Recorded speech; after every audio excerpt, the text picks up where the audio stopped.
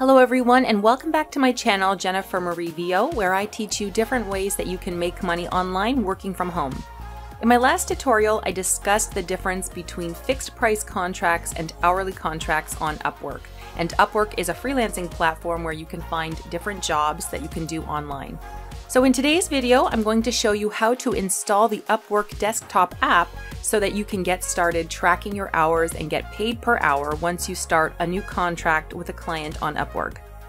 If you haven't already, make sure to subscribe to my channel for more videos just like this one on how to become a work from home freelancer. Before we get started, I just want to make it clear that I have not been sponsored by Upwork to create this video. All opinions in this video are my own. I'm simply sharing with you my experience working on Upwork. I am currently a top rated plus freelancer on Upwork as of the time of creating this video. I have a 100% job success rating and have earned over 80,000 US dollars since I started freelancing on Upwork at the end of 2017. I have a whole bunch of different tutorials you can follow about freelancing on Upwork, which I will link you to in the description below. So let's get into the video. To start doing hourly jobs, you need to download the Upwork desktop app by going to upwork.com slash ab slash downloads. The app allows you to track time by running the time tracker as you work.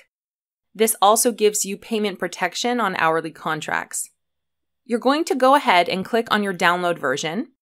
If you don't know what version of computer you have, type in about your PC and then under system type, you'll see if you have a 64 bit operating system or 32 bit. Choose the standard version of whichever operating system you have, and then click Download Upwork Desktop App. So once the .exe file downloads, go ahead and double click on it, then agree to the license agreement, and then use your login credentials to log in to Upwork.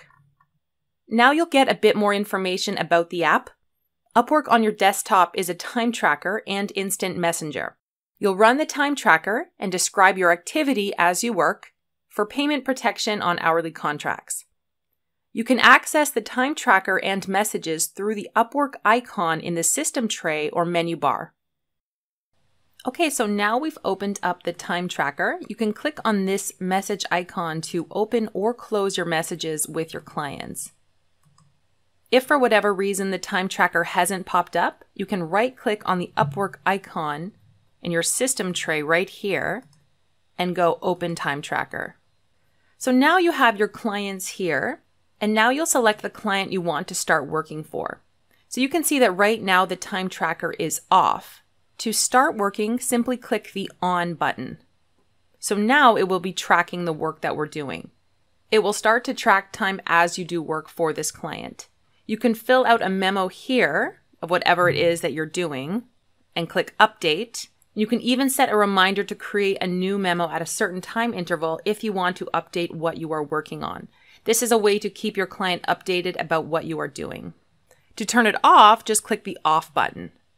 If you have done work for a client and you want to add work manually, you can click add manual time and enter the date and time slot where you worked for the client and also add a memo.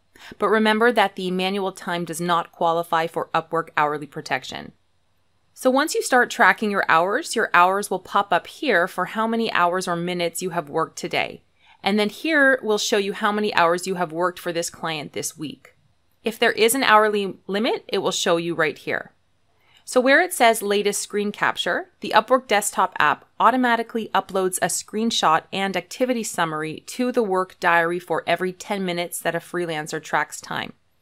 So as you are working, the app will take screen captures that will be saved in your work diary so clients can review your progress and check that you are actually doing your job, whether that is video editing, graphic design, translating, writing, data entry, or whatever else you have been hired to do on your computer.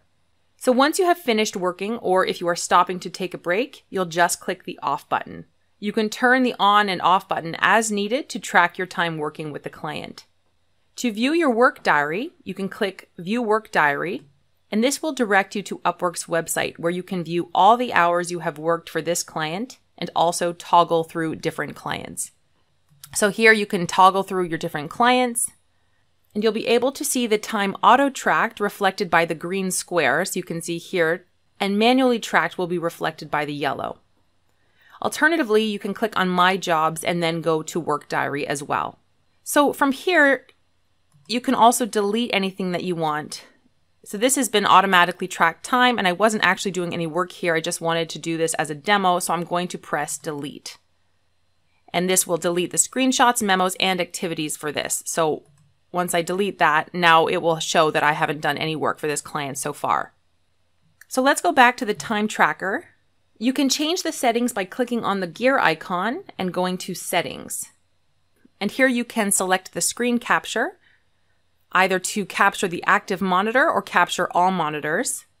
And you can also adjust the notifications for when the app takes a screenshot.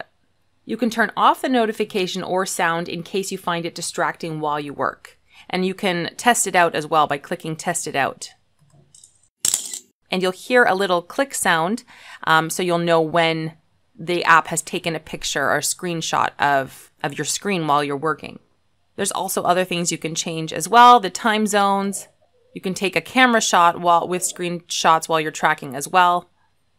And if you are working on hourly contracts with multiple clients and you want to change between them to start working for a new client, so let's say I did an hour work for this client here, I can go back, select another client and click start, and this will start tracking for my next client as well.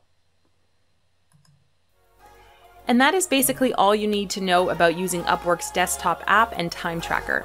I will be creating more Upwork tutorials soon and giving you more tips on how to get more jobs and secure more clients. So if you haven't already, make sure to subscribe to my channel and click like on this video. It really does help me out. Thanks again for watching and I'll see you in my next tutorial.